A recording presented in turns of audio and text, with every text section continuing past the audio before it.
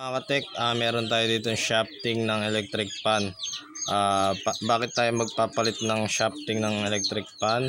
So, dahil ah, meron siya siyang damage. So, ito yung kanyang damage. Ayan, oh. Mapapansin nyo, meron na siyang malalim na gasgas. Tapos, pag ginanyan nyo ng kuko, ayan, oh, meron na siyang ah, stop. Ayan, oh, may stop dito. So, ngayon, pagka tayo ay magpapalit ng shafting, idadamay na natin pati yung dalawang busing niya dito sa likod pati dito sa harap. So bali dalawang busing yung papalitan natin. Kasi tignan nyo dito sa harapan niya yung kanyang busing may damage na rin.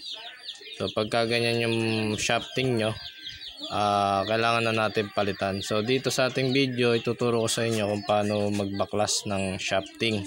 So gagamit tayo ng martilyo sa tapos pupukpukin natin dito sa pinakamaikli na parte niya. Okay, ito yung ating martilyo. Ah, kailangan meron kayong kakalsuan na ganito. Or meron, meron kayong matigas na bagay na may butas yung kasi yung shafting. So dito sa atin, pag ganito na lang yung gagawin natin.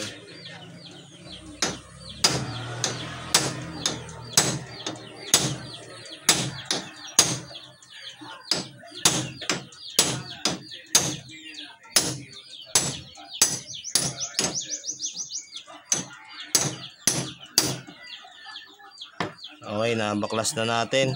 So dito ang shafting natin nagkakalagay ng mga 30. Dadali natin tong sample na to sa electric fan shop kasi susukatan nila to. So pagka ganito yung klase ng shafting nyo, ah, hindi na kayang madaan sa liha, palitan na natin ng bago. Kasi pagka nagpalit lang tayo ng busing, tapos yung shafting di natin pinalitan, ah, masisira lang ulit yung ating ah, busing. So, dapat pag tayo nagpalit ng shafting, kasama yung busing niya na dalawa para iwas ah, gastos. Kasi pagka hindi tayo nagpalit ng busing, lalangit-ngit to. Maingay to sa electric pan. So, dapat talaga bago, pati yung dalawang busing.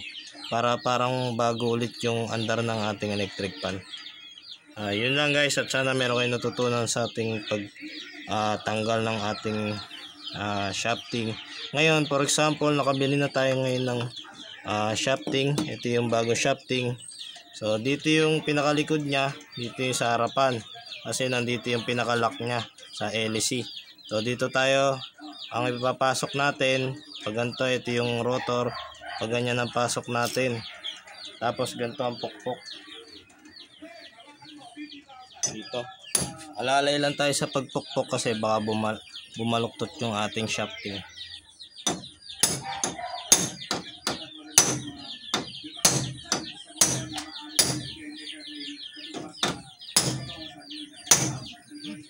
Okay, ayan, naibaw na natin. Ngayon, susukatin natin to kung kulang pa. So, ibawon pa natin.